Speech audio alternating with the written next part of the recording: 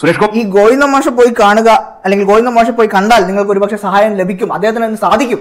എന്ന് പറയുന്നത് എന്നു മുതലാ കേരളത്തിൽ ഇത്രയും വലിയ അശ്ലീലമായി മാറിയെന്ന് എനിക്ക് മനസ്സിലാകുന്നില്ല.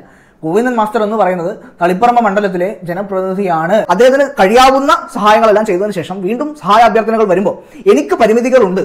ഇവിടെ ജനപ്രതിനിധികളുണ്ടല്ലോ സംവിധാനങ്ങളുണ്ടല്ലോ നിങ്ങൾ അവരെ സമീപിക്കൂ എന്ന് പറയുന്നതിൽ കൃത്യമായിട്ട് പറഞ്ഞു കഴിഞ്ഞാൽ ഞാൻ അതിൽ തെറ്റൊന്നും കാണുന്നില്ല. കാരണം അദ്ദേഹം അദ്ദേഹത്തിന്റെ പേഴ്സണൽ സമ്പാദ്യം വെച്ചിട്ടാണ്.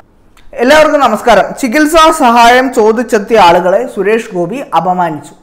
എന്ന രീതിയിൽ ഒരു സ്റ്റോറി മീഡിയ വണ്ണും കൈരളിയും ഇന്നലെ മുതൽ റൺ ചെയ്യുന്നുണ്ടായിരുന്നു.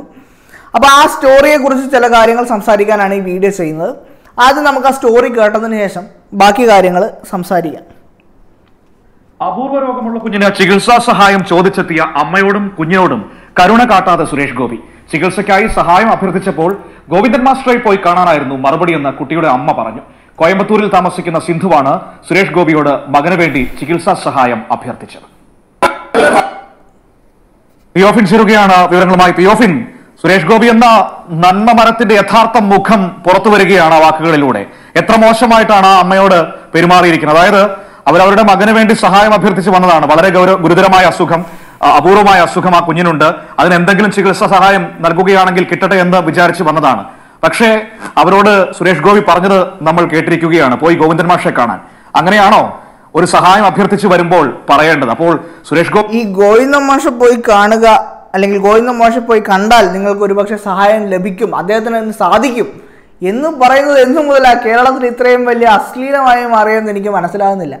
ഗോവിന്ദൻ മാസ്റ്റർ എന്ന് പറയുന്നത് തളിപ്പറമ്പ മണ്ഡലത്തിലെ ജനപ്രതിനിധിയാണ്. സി പി എം എന്ന് പറയുന്ന കേരളം ഭരിക്കുന്ന പാർട്ടിയുടെ ഏറ്റവും ഉന്നതമായ ഒരു സ്ഥാനത്തിരിക്കുന്ന ഇന്ന് സി പി എം എങ്ങനെ മുന്നോട്ട് പോകണം എന്ന് തീരുമാനിക്കാൻ പോലും കഴിവുള്ള ഒരു വ്യക്തിയാണ് ഗോവിന്ദ മാഷ്. അപ്പോൾ ഗോവിന്ദ മാഷെ പോയി കണ്ടാൽ ഒരു പക്ഷേ നിങ്ങൾക്ക് ഈ ആവശ്യം സാധിച്ചെടുക്കാൻ സാധിക്കും. എനിക്ക് പരിമിതികളുണ്ട് എന്ന് പറയുന്നതിൽ അതിലെവിടെയാ ഇത്ര വലിയ പ്രശ്നമുള്ളതെന്ന് എനിക്ക് മനസ്സിലാവുന്നില്ല.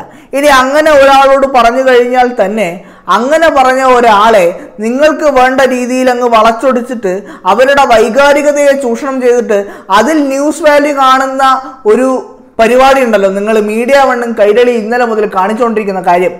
അതിനെയാണ് നെറികെട്ട മാധ്യമ പ്രവർത്തനം എന്ന് പറയുന്നത്.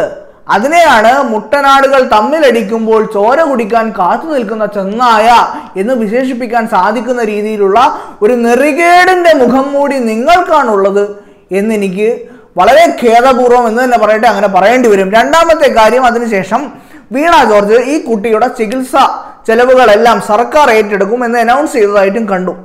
വളരെ സന്തോഷമുള്ള ഒരു കാര്യമാണ്. സുരേഷ് ഗോപി തനിക്ക് പരിമിതികളുണ്ട് എന്ന് പറയുന്ന ആ വാർത്ത കണ്ടിട്ടെങ്കിലും അങ്ങനെ ഒരു കുട്ടിക്കും ഒരു അമ്മയ്ക്കും സഹായം കിട്ടുന്നുണ്ടെങ്കിൽ വലിയ കാര്യമാണ്. ഇതുപോലെയുള്ള പാവപ്പെട്ട ആളുകൾ എന്തുകൊണ്ടാണ് സുരേഷ് ഗോപിയുടെ അടുത്തേക്ക് പോകുന്നത് എന്നുള്ളതിനെ കുറിച്ച് നമ്മൾ ചർച്ച ചെയ്യണം.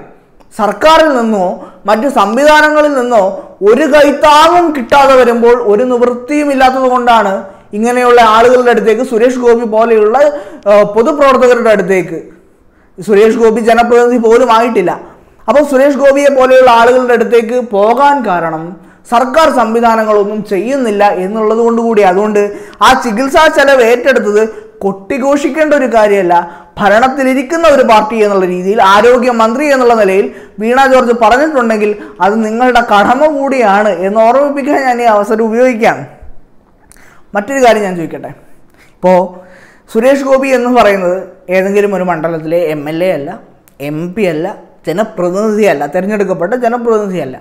അദ്ദേഹം ചെയ്യുന്ന സഹായങ്ങളെല്ലാം അദ്ദേഹത്തിന്റെ സ്വന്തം പോക്കറ്റിൽ നിന്നും അദ്ദേഹത്തിന്റെ സമ്പാദ്യത്തിൽ നിന്നുമുള്ള ഒരു നീക്കിവെപ്പ് ഉപയോഗിച്ചാണ് ആളുകൾക്ക് നിരന്തരമായി സഹായം ചെയ്തുകൊണ്ടിരിക്കുന്നത്.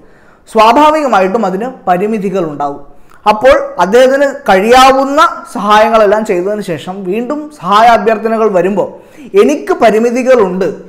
ഇവിടെ ജനപ്രതിനിധികളുണ്ടല്ലോ സംവിധാനങ്ങളുണ്ടല്ലോ നിങ്ങൾ അവരെ സമീപിക്കൂ എന്ന് പറയുന്നതിൽ കൃത്യമായിട്ട് പറഞ്ഞു കഴിഞ്ഞാൽ ഞാൻ അതിൽ തെറ്റൊന്നും കാണുന്നില്ല. കാരണം അദ്ദേഹം അദ്ദേഹത്തിന്റെ പേഴ്സണൽ സമ്പാദ്യം വെച്ചിട്ടാണ് ഓരോ കാര്യങ്ങളും ചെയ്യുന്നത്. നിരന്തരമായ അവഗണനകളാണ് ഇവിടുത്തെ രാഷ്ട്രീയ പാർട്ടികളും മറ്റാളുകളും ഒക്കെ നിരന്തരമായ വേട്ടയാടലുകൾ നടത്തുമ്പോഴും അദ്ദേഹം അദ്ദേഹത്തിന്റെ ഒരുപാട് കടമകൾ അദ്ദേഹം ചെയ്യുന്നുണ്ട്. നിങ്ങൾ ഇപ്പോൾ ഈ ഒരു വാർത്ത പെരുപ്പിച്ച് കാണിച്ച് വലിയ വാർത്തയും സ്റ്റോറിയും ഒക്കെ ആക്കാൻ ശ്രമിച്ചല്ലോ. അതുകൊണ്ടാണ് പറയുന്നത്. ഒരുപാട് കാര്യങ്ങൾ ചെയ്യുന്നുണ്ട്. ഞാൻ ചോദിക്കട്ടെ അങ്ങനെ ഇത്ര വൈകാരികത കൊള്ളുന്ന കൈരളിയും മീഡിയ വണ്ണുവെന്നും എന്തുകൊണ്ടാണ് ഒരു ചോദ്യം ചോദിക്കാത്തത്?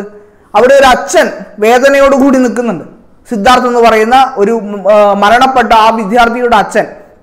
ആ വീട്ടിലേക്ക് കൂടി പോയ രണ്ടാളുകളേ ഉള്ളൂ. ഒന്ന് ആരിഫ് മുഹമ്മദ് ഖാനാണ് രണ്ട് സുരേഷ് ഗോപിയാണ്. എന്തുകൊണ്ട് പിണറായി വിജയൻ അങ്ങോട്ട് പോയില്ല?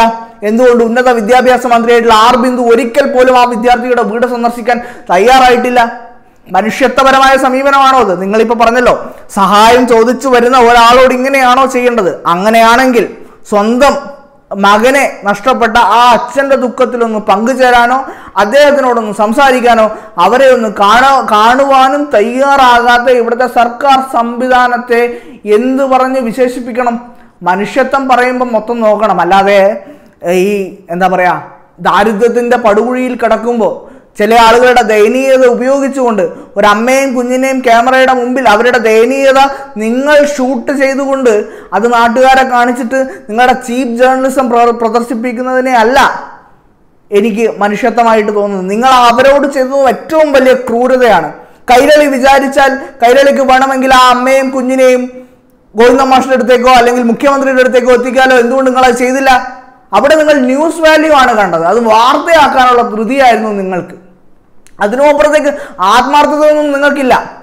ഞാൻ പറയാം ഇനി വരുന്ന ദിവസങ്ങളിൽ കൂടുതൽ ആളുകൾ സുരേഷ് ഗോപിയോട് സഹായം ചോദിച്ച് ചെല്ലണം. അപ്പോൾ സുരേഷ് ഗോപി തന്റെ പരിമിതികളെക്കുറിച്ച് അവരോട് പറയും. അത് പിന്നീട് കൈരളി വാർത്തയാക്കണം. ആ വാർത്ത കണ്ട് വീണ ജോർജും ഇവിടുത്തെ സർക്കാർ സംവിധാനങ്ങളുമെല്ലാം. വരാൻ പോകുന്ന ദിവസങ്ങളിലും ഇതുപോലെയുള്ള പാവപ്പെട്ട നിരാലംബരായിട്ടുള്ള ആളുകളുടെ ചികിത്സാ സഹായങ്ങളും മറ്റുമെല്ലാം ഇനിയും ഏറ്റെടുക്കണം എന്ന് എന്റെ മനസ്സിന്റെ ഉള്ളിന്റെ ഉള്ളിൽ നിന്നും ഞാൻ അഭ്യർത്ഥിക്കുകയാണ്. കാരണം സുരേഷ് ഗോപി തനിക്ക് പരിമിതികൾ ഉണ്ട് എന്ന് പറയുന്നത് കേട്ടിട്ടെങ്കിലും വീണ ജോർജിന് ആ കുഞ്ഞിന്റെ ചികിത്സാ സഹായം ഏറ്റെടുക്കാനുള്ള ഒരു മനസ്സലിവെങ്കിലും തോന്നിയതിൽ അങ്ങേയറ്റത്തെ സന്തോഷം ഞാൻ അറിയിക്കുകയാണ്.